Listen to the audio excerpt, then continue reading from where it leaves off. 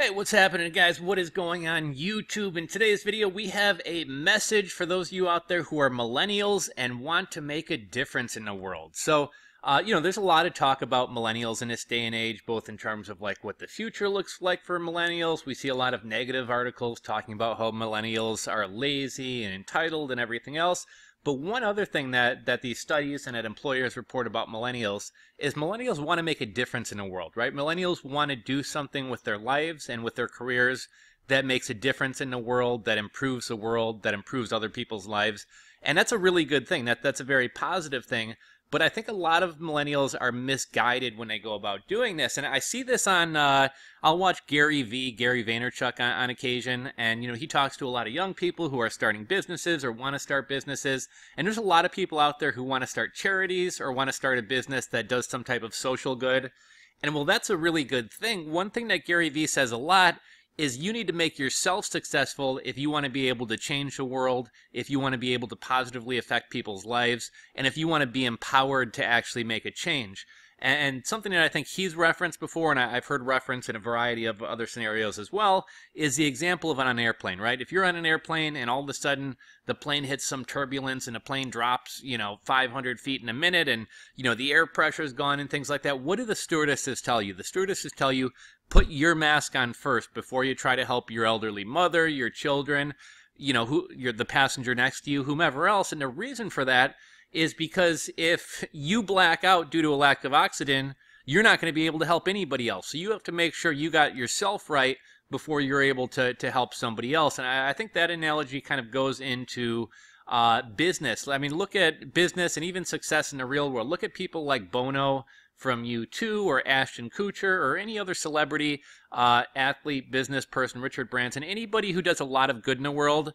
Um, and uh, in many cases, the people who do the most good in the world, uh, they do so because A, they have a platform, they have attention, they have an audience that they can get behind whatever social good they're trying to promote and B, they have their own money that they can throw in and actually start something. So, you know, if you're broke, if you're working a minimum wage job, if you're living check to check, I mean, yeah, you can go down to the food shelter and, and, and volunteer down there, and that's a great thing, and I would encourage all of you guys to do that. But, like, if you really want to make a big, big impact, you're going to need some power. You're going to need some money if you want to start your own nonprofit or whatever else that it is that you want to get into.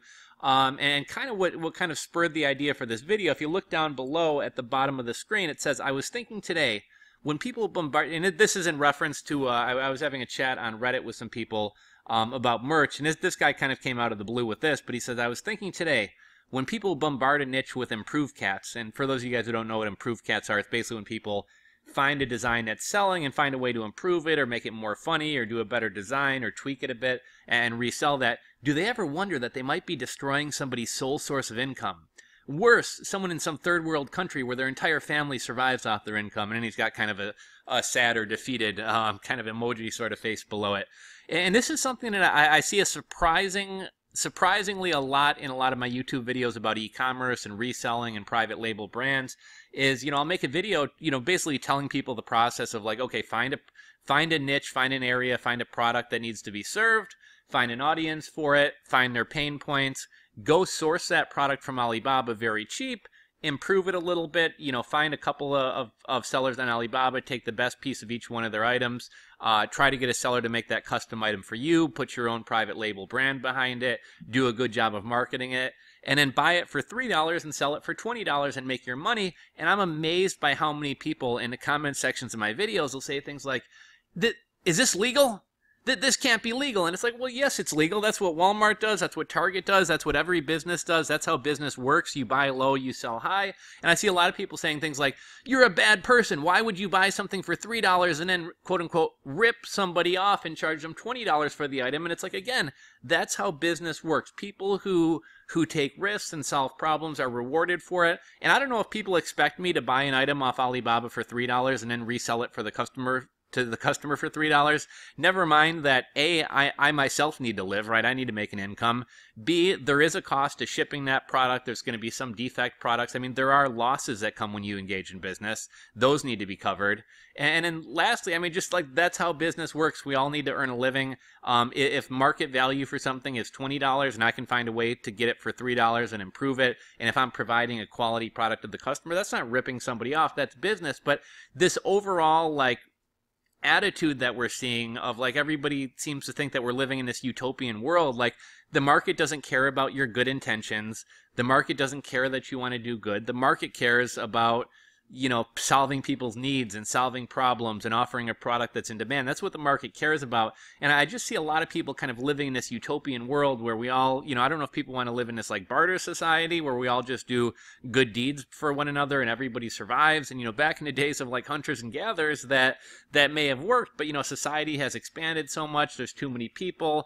Um, we're very separated. We're not tribe. I mean, for all types of reasons that, that can't really work on a larger scale. And, and, I guess what I'm kind of getting at here is if, you know, I think a lot of younger people do want to make a difference in the world. And if you do, you're going to have to have to improve yourself. You're going to have to make money. You're going to have to build an audience. You're going to have to get power to do all that. And what's kind of silly to me, another thing that I kind of wanted to point out is in, in this comment that we're looking at below, this guy seems to think that because you do well, somebody else has to do poorly. You know, there's not this XY equals the, the effect.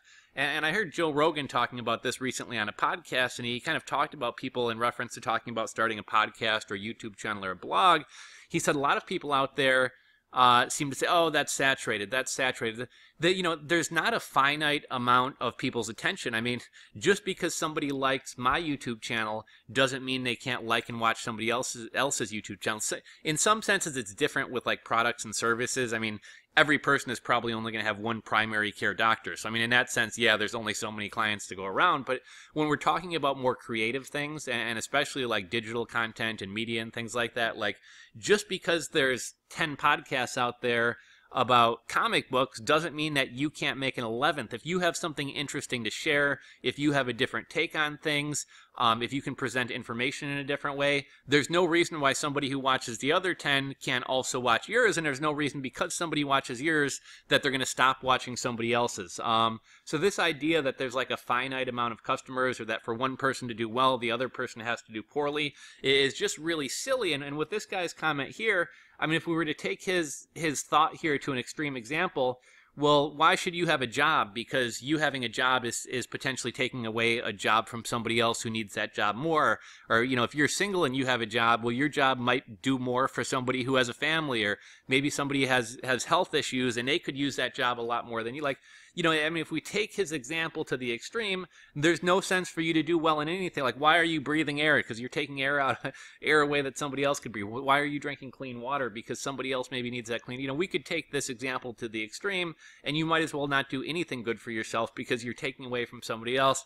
The world doesn't work that way. Just because you do well doesn't mean somebody else has to do poorly. And people shouldn't feel bad about having success or starting a business or whatever else because it's it's when you do those things that you're going going to have more power to do good in the world. And, you know, I can kind of relate to this. Um, you know, some of us have to do jobs that don't really, I don't want to say improve people's lives, but back when I was working for an internet uh, marketing and internet advertising agency, part of me was kind of like, you know, in the grand scheme of things, if I didn't do my job, 500 less I've talked about this before 500 less people are going to see the new ad for the Kung Fu Panda movie and is what I'm doing really improving the world in any way you know but but what you but and what I sorry, I kind of lost my thought here. Um, I wound up getting laid off from that job and then got a job where I was kind of it was a minimum wage, but it wasn't really getting anywhere, and I was having a hard time keeping my own head above water, let alone trying to help anybody else. And, you know, fast forward a couple years, I started a business, I started this YouTube channel, and, and now you know I have more money if I wanted to start some type of charity or, or something like that.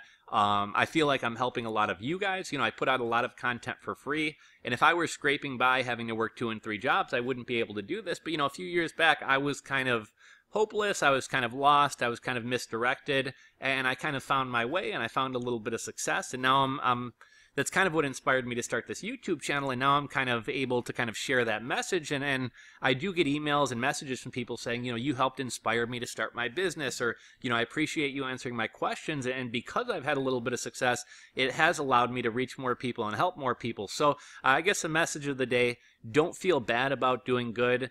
Um, don't think that you're some type of martyr by by you know doing poorly for yourself because you think you're going to help people because that's not true. The more success you have uh, the more you can inspire people and the more you can help other people. So that is my message for millennials who want to make a difference in the world. If you enjoyed this video please share it on social media share it with your friends give it a thumbs up on youtube. And if you are not subscribed to the channel please hit that subscribe button below. I appreciate you guys watching. I appreciate you guys making this channel possible and i will catch you on the next video